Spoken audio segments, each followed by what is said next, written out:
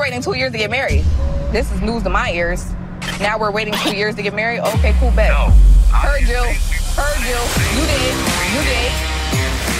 Hello and welcome to Lawd Lukan. It's time to put some whiskey in your water and sugar in your tea because we're going for another round of Love During Lockup.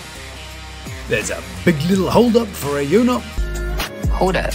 Ladies' man Ricky Poo is talking dirty. I didn't wear breathable underwear. Ashanta has an epiphany. This is why you don't date nobody in jail. And Andrew files for It did end up going over budget by a thousand dollars. Thank you for joining us, and big love to those who have subscribed, you beautiful people, and a flambéed knickerbocker glory to the members of the Lukan Manor. First up on today's little jaunt is with Ayonna and Jamahl. Then it's time for Ayonna to meet the family.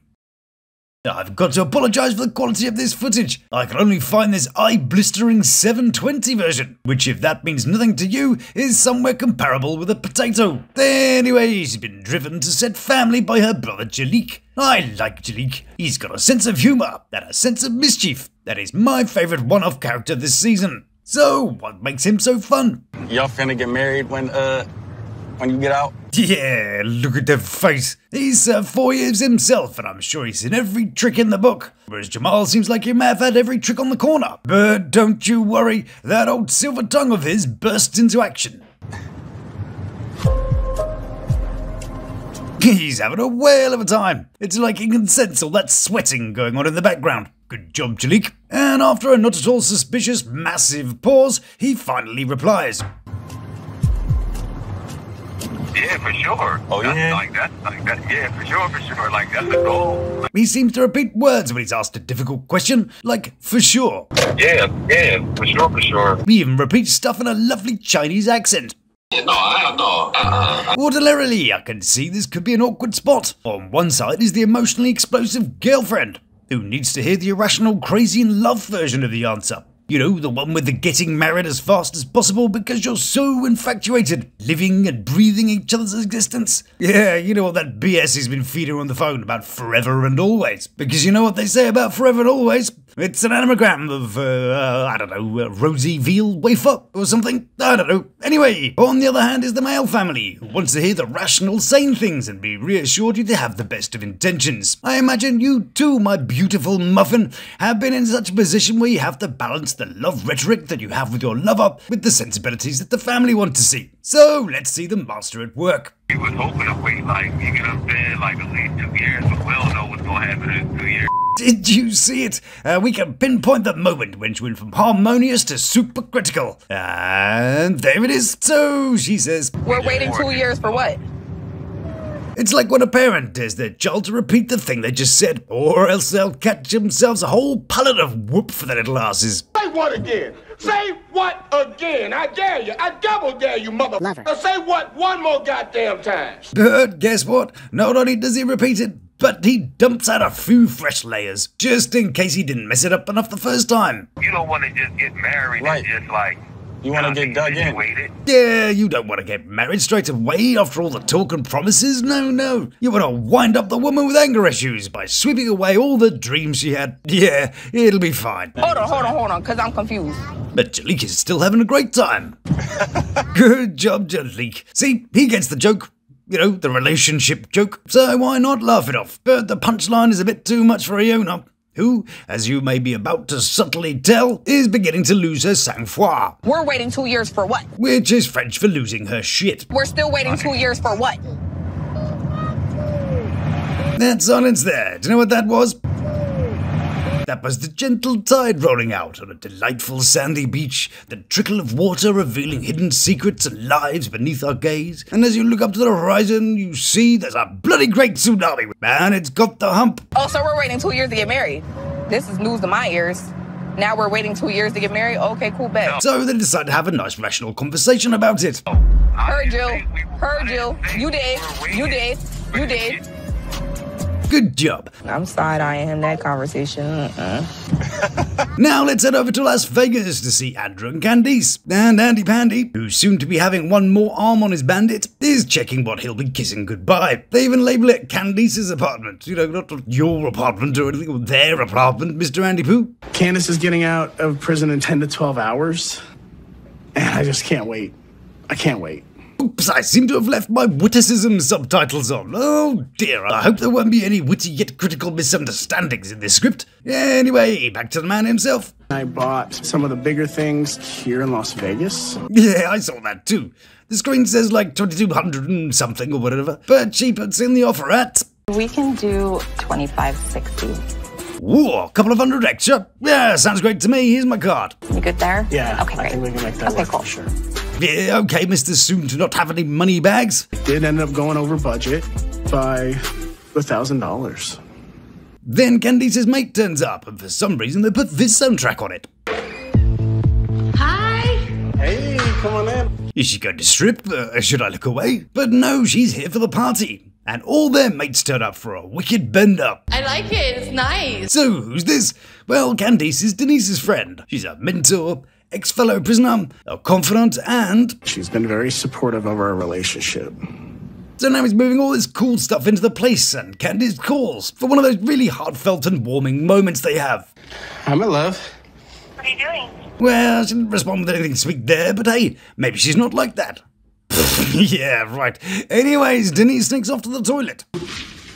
Like, man, he's sprung. Oh no, they seem to have left her microphone on. Ah, Feel good. I can't, I can't believe it's one more sleep for her, and uh, you know we'll be together. That's enough of that. Let's head over to Independence Mo and see what's happening with Ashante and True. And Chef Ashante isn't happy, I literally get every freaking picture that I sent came back. which means one of two things. Either he's in the block, but she's spoken to him so she know he's not, or, He must have gotten something that he's not supposed to get from someone else. well, I was hoping that Ashante's storyline wouldn't lead her to losing a ton of money, and that she'd only just have to get over the emotional and not financial costs. So now she's thinking, Who the f- are you getting mail from? so when True calls her up that evening, she gets straight to the point. Are you talking to somebody else? Did somebody else send you pictures or what? Because you're not doing nothing with contraband.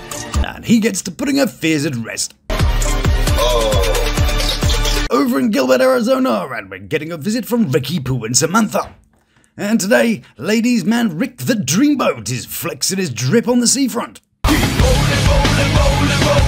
Oh, there, mister. Leave some ladies for the rest of us. But his bike ride is interrupted by a call from Samantha. Hey, you. And there's no time for pleasantries. Cycling about like a twat isn't easy, you know? It's, uh, it takes concentration. Can you call back?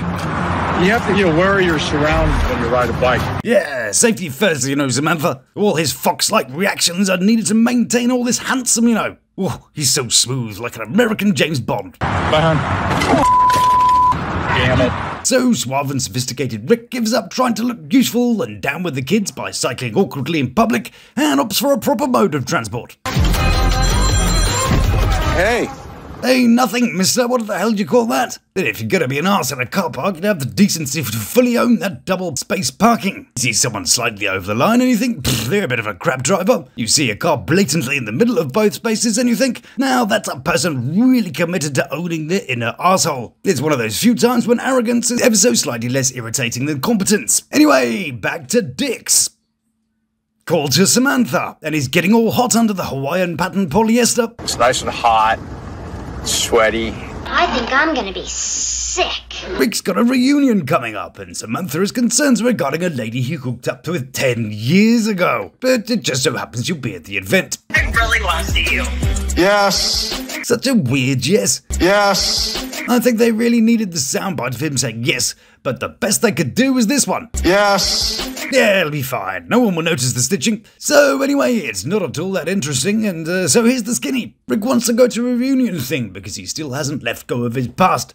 But Samantha doesn't like it because she thinks he'll be getting all the girls, and he hasn't told all his mates about their engagement. Rick says that's just up to him. She says, You're hiding me. He says, I can tell in your face that you're not very happy. Because he's some kind of genius, and it's all fine in the end. I love you.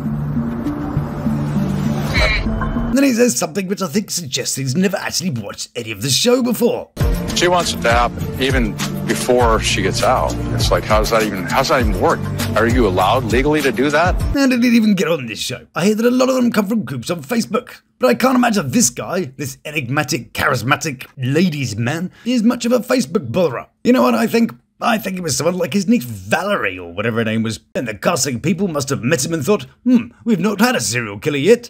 You're hired. Let's skip hand in hand now back to Ayonna, and she's arrived at the family get together where they talk about babies and baby mamas. I would be lucky number five, I tell you that. Sure, because after doing it four times, I'm sure you'll totally stop that behavior because, uh, well, you know, you, presumably? Yeah, that's, uh, yeah, that's totally how it works. Fixing a man project with goodwill and best intentions is always a winner on this show. Good job, the family are on hand to make her feel better about it all. So in your heart, do you really think he just marrying type? So that's a Yeah, lady's man. I'm. Maybe he got some tips from Rick. Then Jamahl's mom says, What makes you that one for him? In case, like me, you found that accent a little tricky, she asks, What makes you that wonderful hoe? So Ayonna lists a bunch of pedestrian things, you know, like, like they do, do talking and things that haven't cheated because apparently this is amazing and unique, and apparently they're different. So, so wow, I'm convinced. I wonder if Jamahl's mum is too. I, I wish you luck. I'm gonna be surprised on this that you and Jamahl make it because It's Jamahl. it's See, Jamahl. like, So Ayonna laughs it off to be polite, I love my- but you know there'll be explosions later on. I just hope she the right one. She can really hold this thing down for you because uh-huh. Did she remind you of someone? And after some deep and incoherent, it seems like there's been some acceptance been passed around. we want to make sure y'all good now. because it's your first marriage, right? Yeah, it's like your first marriage, uh, right? Right?